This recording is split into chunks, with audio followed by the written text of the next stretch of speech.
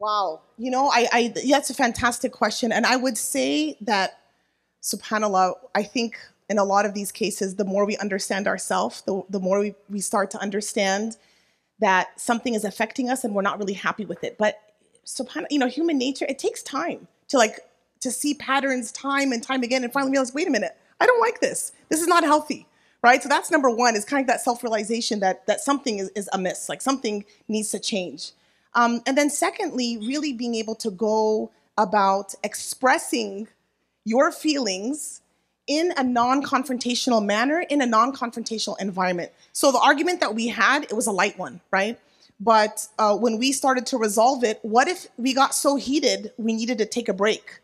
You know, so that's something that's important. We never want to bring up these important conversations during a heated moment, when, you know, after dinner, hungry, all those kind of things when we're hungry. So choosing the right, you know, having the realization, choosing the right time, and then really being able to bring up how you feel about the situation.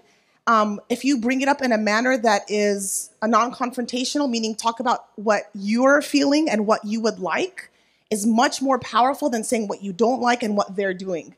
So if I say, for example, um, you know, you, you're always asking for things um, when I'm extremely exhausted. You're asking for dinner when it's like super late at night, or I don't know, a third snack, whatever. I'm just gonna. It's always about food, so I'm just gonna like throw that out there. For me, at least, not with I me, love food. Not with me. Not with you. Not with you. No, I habit. love food, so food comes to my mind. Yeah, you- habit. you're great, mashallah.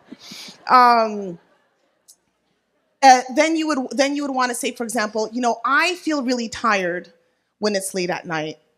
And I would really like it that any requests you have, you know, that you help yourself to fruit or whatever, um, and, and you say what, what it is you want. That's that's a light example. Or I would really appreciate it that if you have a concern that you don't share negative things that are really personal with your mom. I would appreciate that. Instead of you're always telling your mom private things about me, that's really upsetting me. That's so annoying.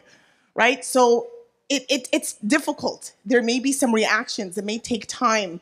It may take again, and you know, having that facilitated. If it's something that's really painful and really um, that's you know pre- prevalent in your marriage, it's something that's very persistent. It may take a third party to help. Again, like counseling, but giving space for for for you know these hurt feelings to express them in positive ways as much as possible and giving it time learning when to take a break from an argument when it gets heated and coming back to try to find that resolution inshallah One one thing that's really important in marriage is, you know, theoretically marriage is supposed to be unifying.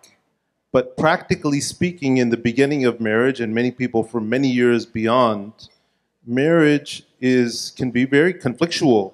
Meaning, it's two people coming together. Lobna doesn't like when I give this whole little spiel, but marriage in itself can be conflictual. Meaning, two people are coming together, trying to unify as one unit, so and to navigate life accordingly. Well, that unification process, like that intentional, conscious, deliberate um, process, needs to take place in that way. And for a lot of people, they don't realize that. They just go on about life, and they never negotiated, navigated, figured out their boundaries. They never came to be on the same page. You have to have usul, you have to have foundational principles by which you your marriage works on. And a lot of people don't take the time to even figure out what that is. You know, you just go into marriage and you go into marriage without even figuring out how do we fight? What are our rules of engagement? What are uh, what do we want for our children? What are our shared goals? What are our shared dreams? What do we want out of life together as a couple? What do we want for our family?